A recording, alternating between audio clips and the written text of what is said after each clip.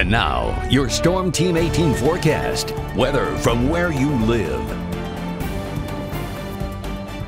Well, 44 for the low early tomorrow morning. There's going to be a lot of clouds around tomorrow. Now, there will be a few breaks at times. It's not completely out of the question. There could be a few patches of drizzle in the morning or a couple sprinkles or a light shower or two in the afternoon. Otherwise, winds turning to the west and a high of 56 after that 44 degree low during the morning hours. And there are the highs viewing area wide at 53 to 59, 58 at Attica and Williamsport, about 57 at Fowler, mid 50s at Flora, low 50s up to the north towards Peru and Denver. Now on Wednesday, the wind picks up after what may be a little patchy fog in the morning with mostly clear skies.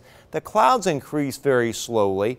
Uh, and it warms up very nicely on Wednesday. 38 in the morning with a few patches of frost as well, but 64 to 71 in the afternoon. Near 70 in Greater Lafayette, near 70 towards Attica, but 67 Frankfort, 68 Flora, and about 65 at Logansport. There is Futurecast. Note the low clouds around through tonight and even through tomorrow. Now, again, a few breaks cannot be ruled out at times, especially later in the day. This is 6.30 in the evening, and be aware of a spit of rain, a sprinkle, or something like that. Then a clearing trend tomorrow night with some patches of fog and patchy frost.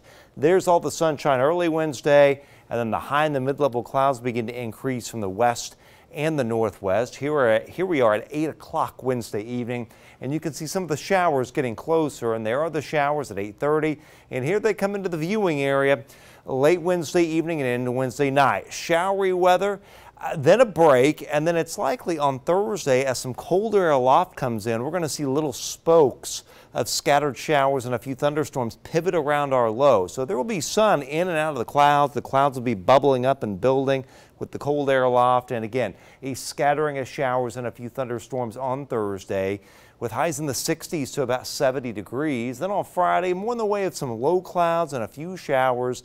This is around noon Friday. And then Saturday, maybe a shower or two in the morning and then a brief one in the evening as this little clipper system zips by, followed by much warmer weather after that. As a matter of fact, we're going to be well into the 70s come next week. All right, 67 on Thursday. There's the 57 on Friday with some scattered showers around after scattering of showers and a few storms on Thursday. Saturday, a couple showers in the morning, a couple showers in the afternoon as well with a 59 degree high.